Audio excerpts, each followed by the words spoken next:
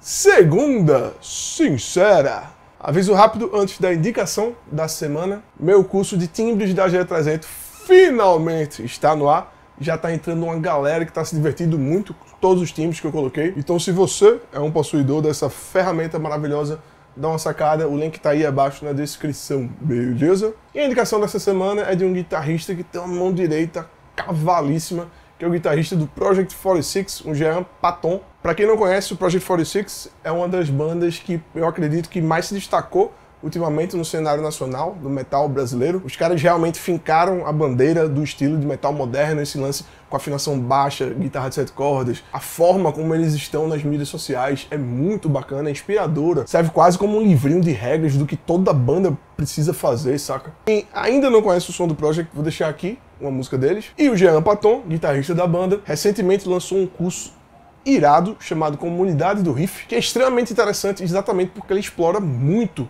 o lance da mão direita, saca? Que é uma coisa que eu vejo a galera deixar muito de lado, velho. E que é extremamente essencial para quem toca rock and roll e metal. E é isso aí, sacar lá o trampo do cara é brutal. Beleza? Vamos lá para a primeira pergunta. Você poderia dar sua opinião sobre os guitarristas robistas? Eu me encaixo nessa categoria. Sou profissional liberal e não vivo de música, mas sou apaixonado por ela. Já tive várias bandas e nunca precisei cobrar para tocar, mas sempre negociei um cachê, independentemente se o valor era bom ou não. Uma vez escutei que os robistas estragavam o mercado pois eles não cobravam ou cobravam o mínimo possível e tiravam a oportunidade dos músicos que vivem da música. Como eu não sou profissional, sempre tocava as músicas da melhor forma possível, mas não chegando ao ponto de copiar a música original. Mas isso não desmerecia as apresentações. Eu entendo que se o músico é profissional e vive da música, com certeza ele deve ser melhor do que um robista. Será que a culpa, em parte, caso o robista esteja tirando a oportunidade do músico profissional, não seria o estabelecimento que procura o lucro e talvez não se importe tanto com a qualidade das apresentações, já que o que houver cobrado por ele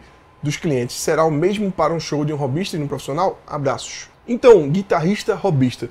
Primeiramente, não, eu não acredito que o fato do cara ser robista ou não, esse fato em específico, atrapalhe qualquer tipo de coisa, até porque o nível de um músico não é medido por um diploma ou pelo fato dele ser profissional ou não. Eu conheço muitos, muitos, muitos músicos que têm outras profissões e são excelentes na sua arte. Então, para mim, um fato do cara ser robista ou não não quer dizer nada. Mas o fato é que a música está inserida no mercado. E um mercado extremamente subjetivo, saca? O preço de uma apresentação musical o preço da arte ele é muito subjetivo. E um dos elementos que podem e vão ajudar a estabelecer esse tipo de preço é exatamente o valor que está sendo praticado no mercado. E é esse que eu acredito que seja o problema e que acontece com músicos robistas, mas que também acontece com músicos profissionais que vivem da música, saca? Não diria que é uma exclusividade dos músicos robistas, não. Infelizmente. É claro que os donos dos estabelecimentos têm a sua parcela de culpa nesse problema gigante, mas a gente não pode deixar de fora esse fator de músicos ou pessoas que abaixam o valor da música em si no mercado para poder tocar, saca? E aí, velho, para resolver essa questão na sua cabeça é realmente só você se colocar no lugar do músico. Se alguém de repente invadisse a profissão que sustenta a tua casa cobrando um valor muito abaixo, ia te prejudicar, certo? Então não faça isso com outras profissões.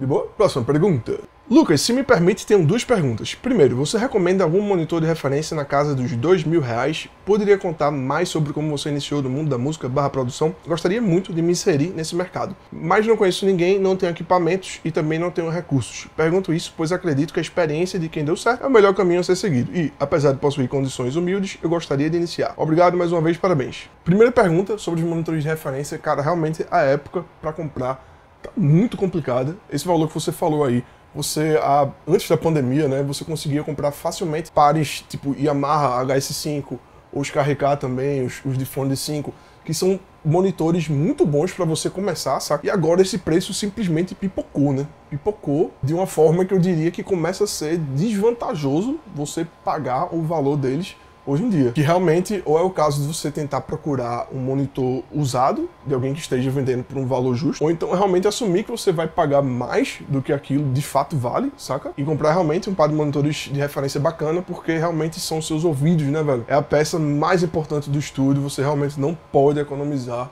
nesses monitores. Uma marca que realmente tem monitores que são mais custo-benefício é a Edifier. Monitores também que uma galera usa e fala que é de boa são os Behringer. Eu acho que se fosse eu, começando agora, compraria um mais simples para ir estudando, saca? E tentar lá na frente, velho, pegar um mais bacana, por um preço mais justo, saca? Porque, por exemplo, o valor dos HS5 hoje no Mercado Livre tá pelo preço que eu paguei nos HS8. E sobre a segunda pergunta, velho, as dicas número zero, que nem começam a ser número um ainda. Primeiramente é tenha paciência, a estrada é muito longa, você tem que estudar muito, tem que se dedicar bastante. As informações que a gente encontra na internet são múltiplas. Você precisa ter na sua mente muito conhecimento para poder lidar com diversas situações completamente diferentes, saca? Então precisa realmente muita dedicação, muito estudo. E assim, primeira dica, tenha o máximo de experiências possíveis que você possa ter, se coloque em situações, crie situações novas, se for possível, grave o máximo que você puder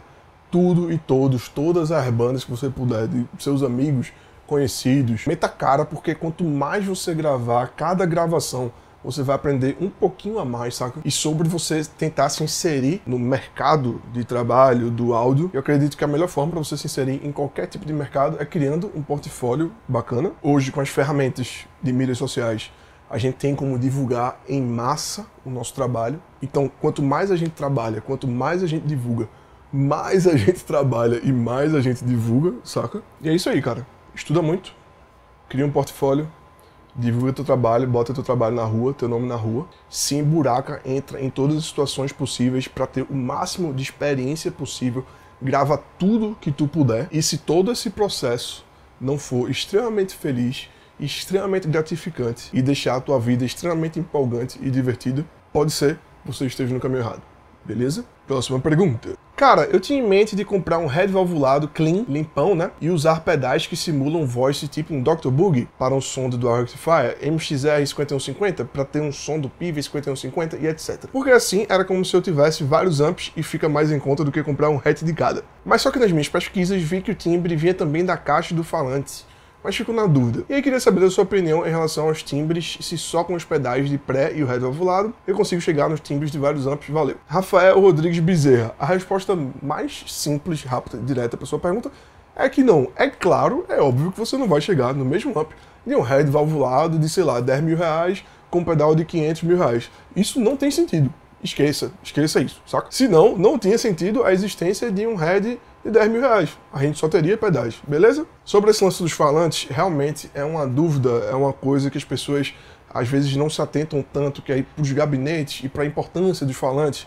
Mas que para mim, velho, falante é 70% do som. Começa daí, saca? É muito importante no timbre. Exatamente por isso que essa tecnologia aí de Impulse Response tá pegando tanto e tá sendo tão funcional para tanta gente, porque é exatamente o estágio mais importante do som, que é os falantes que essa tecnologia simula.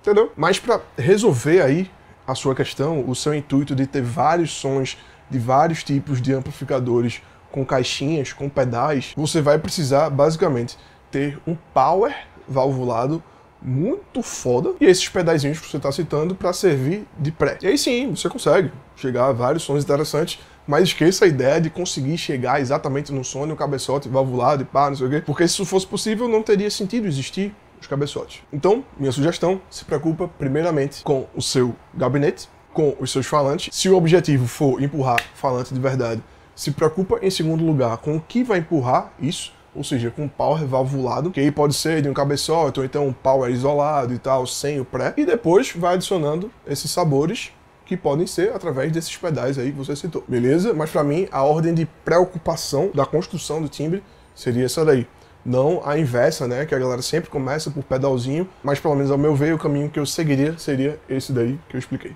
Beleza? Próxima pergunta. Já tocou em uma Music Man do John Petrucci? Se sim, o que achou? Deve ser top pelo preço. Se não, o que acha ou o que conhece dessas guitarras? Elias, sim, já tive um enorme prazer de tocar na Music Man do Petrucci, em algumas, na verdade. E sim, são guitarras excelentes, guitarras brutais, guitarras com a construção que você fica tentando procurar um defeito e você não vai encontrar, nem, nem adianta, não encontra, saca? O braço, ele é muito diferente das guitarras clássicas que a gente tá acostumado, Fender, Gibson, Les Paul, Strato, Tele, etc. Quando você pega, você acha um pouquinho estranho, saca? Mas que rapidinho você se acostuma. Realmente o valor é bem elevado. E é claro que tem aí um plus, né? Um precinho a mais, exatamente por ser uma guitarra assinatura, ser uma guitarra do Petrucci. E aí, Lucas, você compraria essa guitarra? Cara, eu não sou tão fã do Petrucci assim, não acho o design da guitarra tão bonito, para ser sincero. Acho sim o preço um pouco desproporcional para o que você ganha, mas entendo perfeitamente quem paga por esse preço. Provavelmente, se algum dia eu tiver uma Music Man, provavelmente vai ser a do Steve Moss. Isso aí, próxima pergunta. Olá, se tratando de mini cabeçotes Borne e Joio, vale a pena pagar o dobro do valor para ter uma válvula apenas no pré? Então, Chapolin desbotado. Complexa essa pergunta. Primeiramente porque eu já falei aqui, né, que eu toquei em alguns amps da Borne não gostei de nenhum. O único que pareceu ser interessante é o amp que o Pedrone fez junto com a Borne, mas que o falante que a Borne colocou junto do combo, junto do amplificador, não é bacana, mas ele funciona muito bem se você usar uma caixa externa ou trocar o falante. E eu nunca toquei no amp da Joio. Mas eu já toquei sim em vários amps que são híbridos, né, que tem pré-valvulado. E esses pré-valvulados vêm apenas com uma válvula, apenas com uma 12FC7 o que é muito esquisito, né? Porque você vê que geralmente amplificadores valvulados, totalmente valvulados, vêm com no mínimo duas, às vezes três, tem amp com cinco válvulas de pré, saca? E pra ser sincero, eu acho muito difícil que essa válvula no circuito todo, como um todo, apenas uma válvula de pré, aquela coisinha miudinha, vá fazer uma diferença no som considerável, principalmente a ponto de você pagar o dobro do valor, né? Eu não sei quais são os amplificadores que você está falando. Pode ser que além dessa válvula de pré, eles tenham, por exemplo, um falante melhor, tenham mais potência, tenham mais recursos, e aí talvez por esses outros elementos faça valer a pena você pagar o dobro do valor. Mas não, velho, se for apenas realmente a válvula do pré que vai fazer essa diferença tão grande no valor, eu não pagaria. Próxima pergunta. Os IRs, os impulsos responses, simulam os gabinetes e não os amps. Como podem trazer tanta diferença somente simulando os falantes e caixas e não os circuitos do amp? Então, Diego, eu já falei um pouquinho, né, sobre isso lá no começo do vídeo, mas existe aí um desentendimento, acredito, por parte do, dos guitarristas em geral, principalmente aqui do Brasil, de realmente não compreenderem a importância do falante, a importância do gabinete no timbre. Eu disse aí, né, no começo do vídeo que eu considero que 70% do timbre, chutando um número aleatório apenas para dizer que é muito muito importante, saca? Vem dos gabinetes, vem dos falantes. Essa semana, o Ola England, que eu acredito aí que é o maior youtuber com assunto de guitarra e tal do mundo, falou sobre isso e ele colocou um número também absurdo. Ele disse que para ele 89% do som vem dos gabinetes, dos falantes e etc. Ele falou isso no vídeo da Line 6 Pod Go. Se vocês quiserem conferir e tal, tá aqui no card. E aí, basicamente é isso, velho. Eu acho interessante esse fato da galera não ter o conhecimento sobre isso. Talvez por terem passado tanto tempo prestando atenção e outras coisas, saca? Isso é muito bom pro guitarrista, porque o gabinete definitivamente não é a peça mais cara, saca? E você tem falantes muito bons, com preços bem acessíveis, e que talvez seja exatamente o que tá faltando aí pro seu timbre para você chegar onde você queria, beleza? Próxima pergunta. Lucas, meu velho, tudo bem? Cara, se puder, indica umas bandas do cenário atual aqui de Recife. Eu sou de Recife. Inclusive, eu, eu, vi que algumas pessoas têm perguntado isso, eu sou de Pernambuco e tal, se eu sou de Recife. Sim, sou de Pernambuco, sou recifense, com muito orgulho. Voltando, na minha época tinha muita coisa massa, surgiu até um concurso de bandas, o Microfonia, que participei com minha banda. Lembro que não passamos nem das seletivas, mas o nível dos caras era bem alto. Se classificavam três para grande final. Na final eles abriram um show para Los Hermanos e foi massa. Terminou assim, vou ver, uma banda massa que não sei por que acabou, Melotrons e Johnny Hooker. Bicho, sinto muita falta desses festivais. Depois de um tempo deixou de rolar programas voltados ao cenário local, ou sei lá, eu que não acompanhei. Hoje sei de um ou outro artista que faz rock aqui, mas não conheço muito. Abração pra tu. Então, Paulo, realmente existiu uma queda drástica aí na cena rock and roll da cidade como um todo. Eu acho que o rock ele não se adaptou nem um pouco bem a essa nova maneira da galera consumir música. Eu acredito que a galera tá nesse processo ainda digestivo, saca? Com um apego muito grande ao que ficou no passado e tem essa relutância de, de, de compreender mesmo o momento atual, só que se adaptar e utilizar as coisas que a gente tem como ferramentas para construir o que vai ser o próximo passo, que realmente a cidade tá bem atrasada em relação a isso. Tinha uma cena de rock muito forte. Eu peguei, eu acredito que a última versão do microfonia e realmente era uma coisa muito interessante, né? Movimentava muita gente, movimentava muitas bandas, movimentava a cena, movimentava as pessoas e que hoje infelizmente não existe mais. Vou deixar de dica aí para você duas bandas de rock e duas bandas de metal daqui da cena, não sei se você curte metal. As duas bandas de rock, inclusive, têm vocalistas mulheres cantando e são muito interessantes, são muito massa. Uma delas é a Surt, que é um stoner rockzão bem pesado, bem naquela pré ali do Queens of the Stone Age, lá no comecinho. É muito massa a banda, vale a pena conferir. A segunda é a Sierva Maria, também banda de stoner rock, mas que também tem vários outros elementos, tem duas guitarras, muita guitarra limpa, muito tema. A voz de Juliana, cantora, é uma voz mais bluesona, saca? É uma voz bem carregada, bem interessante. Com bandas de metal, vou citar a Cangaço, que acabou inclusive de lançar um EP novo, o Inevitável, muito pesado, lapada na orelha, é muito interessante porque nesse lançamento novo deles, eles incorporaram elementos de uma sanfona, velho. colocaram uma sanfona no meio do death metal. E a Hell Rastro, que é uma banda também de Recife, de metal, é um trio, que aí é pra quem já curte um som um pouco mais moderno, tipo na praia do Gojira, do Mastodon, saca? Um vocal rasgadão, meio James Hetfield do Metallica. E vou deixar todos os links aí embaixo na descrição, banda por banda, link por link para você sacar. Tem muita gente boa ainda fazendo música, mas realmente a cena deu uma enfraquecida, mas que eu sinto que as pessoas, cada um em sua casa, começa a se organizar, começam a produzir mais, a entender as mídias sociais e a galera, aos pouquinhos, está começando a utilizar cada vez mais essas ferramentas. E eu, sinceramente, acredito sim que vai existir um ressurgimento aí desse movimento rock and roll. Talvez não tão forte quanto esse que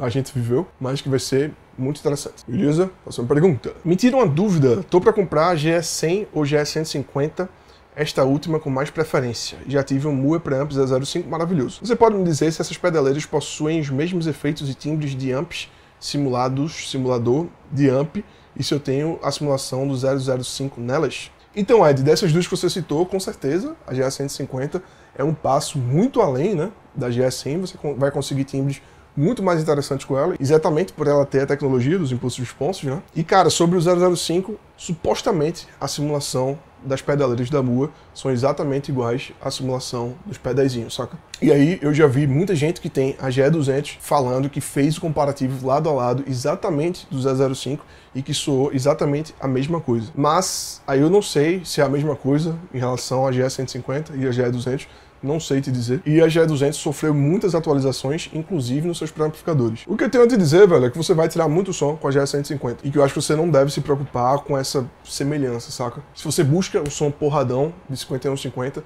você vai ter na GE150, com certeza. Na GE100, aí eu já realmente não sei te informar. Beleza? Então é isso. Esse foi mais um Segunda Sincera aqui no canal. Não se esqueça de deixar o seu comentário aí embaixo, deixar a sua pergunta, a sua dúvida, que quem sabe você não aparece aqui no próximo Segunda Sincera. Isso aí, foi um prazer único e inenarrável, como sempre. Até o próximo vídeo. Valeu!